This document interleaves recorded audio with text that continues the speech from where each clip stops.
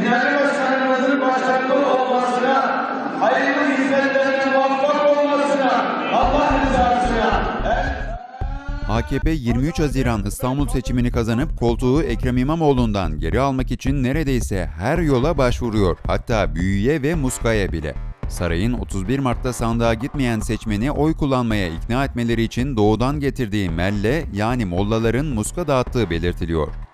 31 Mart İstanbul seçiminde 1.7 milyon İstanbullu seçmen sandığa gitmedi. Bu sayının önemli bir bölümünün AKP'ye küsen ya da kızan seçmenle Kürtlerin bir bölümü olduğu belirtiliyor.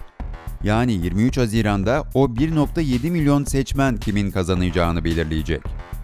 AKP'nin önündeki 23 Haziran seçim anket sonuçlarına göre Ekrem İmamoğlu ile Binali Yıldırım arasındaki makas CHP'nin lehine açılıyor. Çünkü veriler Binali Yıldırım'ın sandığa gitmeyen seçmenin oy kullanması için henüz geçerli bir vaat ortaya koyamadığını gösteriyor.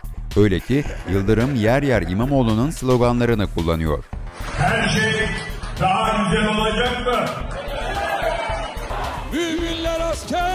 Cumhurbaşkanı Tayyip Erdoğan kendisi için varlık yokluk seçimi olacak 23 Haziran için tüm kozlarını sahaya sürdü. O kozlardan biri de Doğu ve Güneydoğu'dan getirdiği Melle adlı mollalar. Erdoğan çözüm sürecinde kullandığı melleleri bu sefer AKP'nin İstanbul'da kapanan kısmetini çözmek için sahaya sürdü.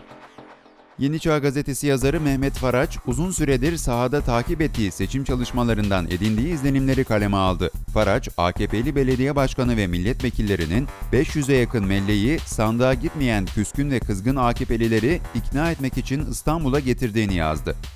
Kimi kaynaklara göre 300, kimi kaynaklara göre de 600'den fazla mele olarak bilinen medrese kökenli din adamı da AKP'nin Doğu ve Güneydoğu milletvekilleri ve belediye başkanları tarafından İstanbul'a taşındı. Bunların sayıları giderek artıyor. Habere göre Ekrem İmamoğlu'na karşı İstanbul'a adeta çıkarma yapan melleler, muhafazakar seçmenin etkili olduğu ilçelerde birebir markajla telkinde bulunuyor. Fatih, Esenler, Güngören, Bağcılar, Bayrampaşa ve Ümraniye bu ilçelerden sadece birkaçı.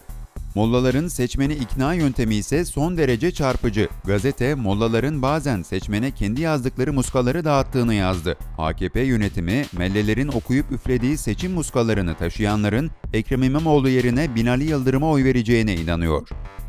Özel otomobillerle ev ev gezdirilen melleler muskale ikna edemedikleri bazı seçmenlere ise mezar toprağı hediye ediyor. Siirt, Mardin, Adıyaman, Urfa ve Bitlis'le Erzurum'da bulunan şeyh türbelerden kazıp İstanbul'a taşıdıkları toprakları teberik yani armağan adı altında dağıtıyorlar.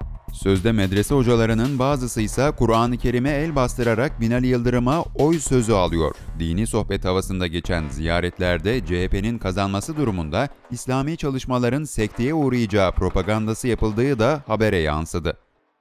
Ve AKP'nin hiç değişmeyen makarna siyaseti. Faraç şu enteresan satırları kaleme aldı.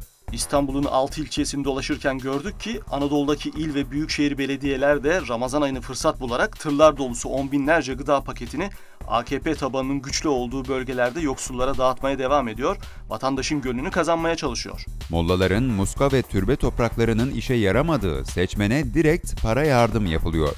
Örneğin sandığa gitmeyen en az 5 seçmeni olan evlerde yurttaşların emlak vergilerinden ödenmemiş su, elektrik, doğalgaz faturalarına kadar borçları anında internet üzerinden kapatılıyor. AKP'nin adam adama markajı sonuç getirir mi bilinmez ama dört koldan yapılan tüm bu seçim çalışmaları Beştepe Külliyesi'nde yaşanan endişenin ne kadar büyük olduğunu ortaya koyuyor. Allah